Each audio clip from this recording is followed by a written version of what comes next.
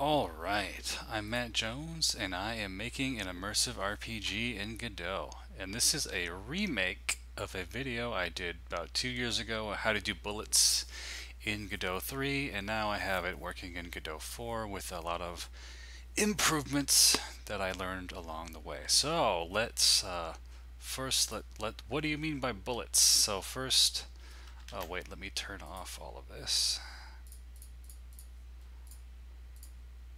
So we have a little snowman guy that shoots bullets out of his, his gun here.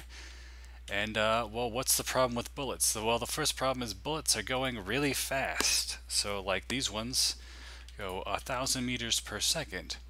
So we have a stack of items here, uh, and we have a uh, indestructible steel cube here that spins around. So we want to be able to shoot these little cans here and have it react appropriately with the physics and apply force. Also, we don't want the bullet to just zoom through it and clip through it because it's going so fast and it's so small. And then we want them to also ricochet off this steel cube here at the correct angle and whatnot.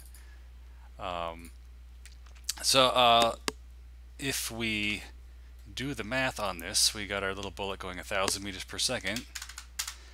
And let's say we're doing 60 frames a second. That means each oh wait, uh, yeah, each iteration of the physics engine, our bullet is going to be moving 16 meters. So it's like it's literally here, and then the next frame it is literally over here. So it went so far, like it doesn't travel between here, it literally is here, and then it's all the way here. So it would, if we were shooting at these little containers here, it wouldn't trigger a, a collision because it's it's just this little tiny bullet and it's going so fast. So what we do is we use a raycast, um, like this one coming out the back of the bullet.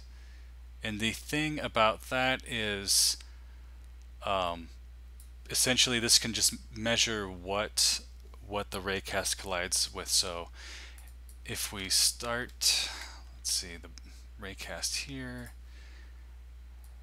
And if the bullet's here, and then on the next frame the bullet is here, we can just make the raycast stretch out to way over here where it was. So it'll be here, and then the next frame it'll be here, and then it'll say, oh, we collided with one of these things, and that's how it measures the collision. But the thing about that is, um, I still haven't seen a good solution about this. Is raycast can only detect one collision. So if we if we shot our bullet and we said, "Oh, look, we hit this little red box," and it went through and hit this, it's going to see the first thing it collides with, which is the uh, the yellow box. But obviously, we want the first one it hit.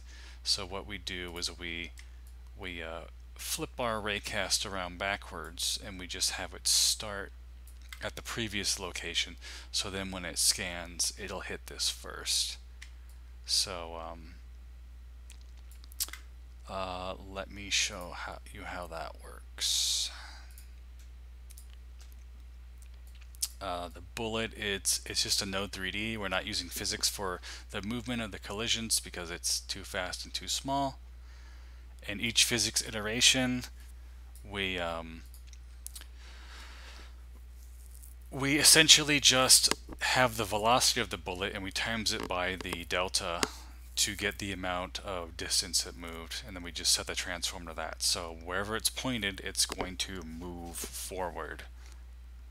And then uh, we have gravity here uh, so the bullets so the bullets react to gravity. We can turn that on and off if we want. For now, we're doing that. Oh, um, we also have uh, ricocheting bullets. When the bullet hits one of these boxes, it just gets uh, deleted. But if you want it to ricochet like off this, what we do is we we check the distance and if it's smaller than the minimum distance uh, we have a, a, minimum distance here because we don't, we don't want it to be too small so it's it's only moving a tiny bit so we just have like a minimum a minimum uh, bounce and a minimum raycast distance. So if, if the, the, the bullet only moved a tiny bit, we'll make it 0.05.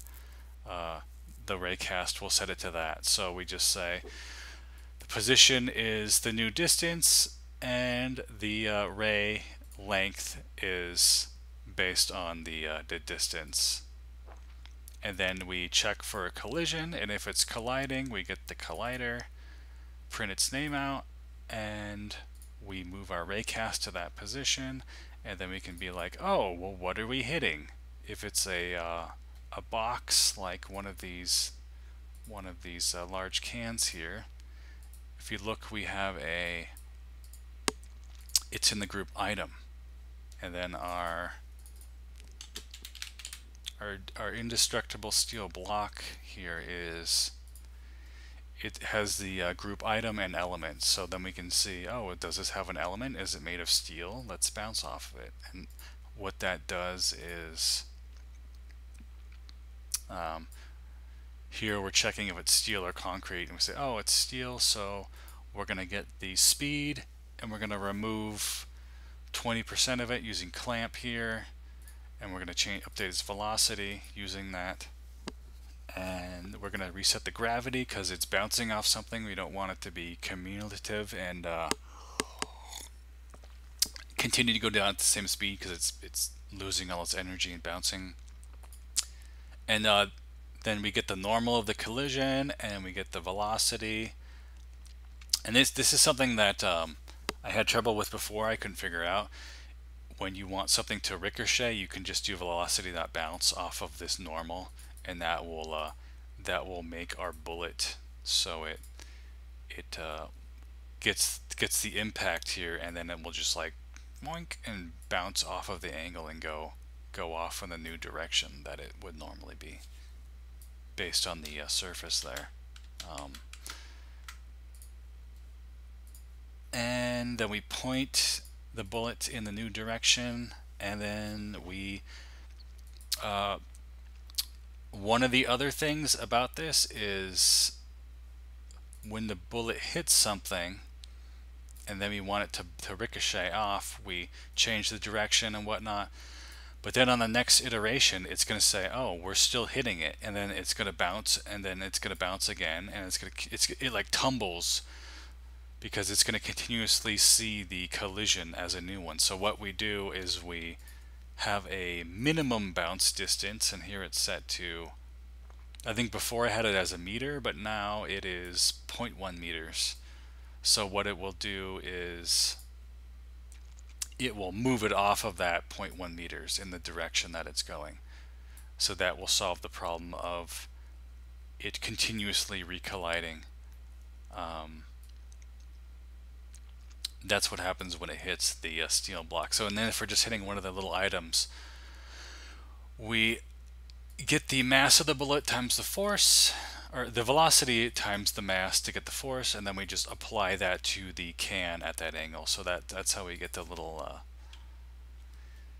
these cans that get knocked around. So we can just continuously like blast it, bam, bam, bam, bam, bam, like that. That's that's neat. And then the only thing left really is the uh, glow trails behind the bullets and the little spherical impact point.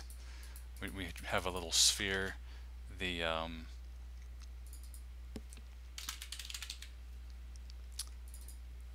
the glow, it is just a mesh. Um, and that has uh, an, it's set to immediate mesh. Then we have a glowy material that's uh, really bright and will glow with our environment setup. And what we do is we essentially just have a bunch of points an array of points. Every time the bullet moves uh, where is it in, inside of the physics process, we have the glow here and we update its position. We say, okay, the bullet's at this position now. And then every time it moves, we just, we update its position. And we do this as many times as we can because, again, with that calculation, I think it was, um, 1000 divided by 60 frames. That's roughly 16 meters per uh, per movement. So uh, we want to have as many of these as possible. So we have um, we have it update multiple times and add to the points array. We just check the distance of the bullet. If it's less than, or if it's at least 0.1 meters, we add another point to the array. And then in the um, the process function, this is where we draw it. So we have the immediate mesh. We clear all of the points. We say we're starting a new surface. We get we get uh, each one, we, A and B, and then we just say here's a vertex here at the start, and here's a vertex at the end. And we just do that for each point and then we end it.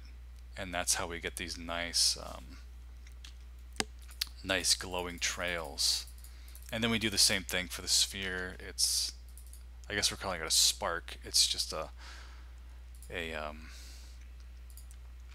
a mesh sphere with a glowing material and then it has a timer that where it dies after um, 0.1 seconds it'll it'll free itself um, anyway, the code here is at immersive, or it's at uh, github.com slash immersive RPG slash example raycast bullets. I have the master branch is Godot 4, and then I also have the old example at under Godot 3 if you want to keep using that. But if you're using new Godot, which you probably which you should be using, it's going to be at master, so you can check the code out there. Anyway, hopefully this is helpful to you guys. Um, if you want to find out any more stuff, you can go to immersiverpg.com, and if you want to help contribute, you can go to patreon.com slash immersiverpg. And if you have any questions, uh, put them below, uh, below the video on our YouTube here. I will talk to you guys later. Bye.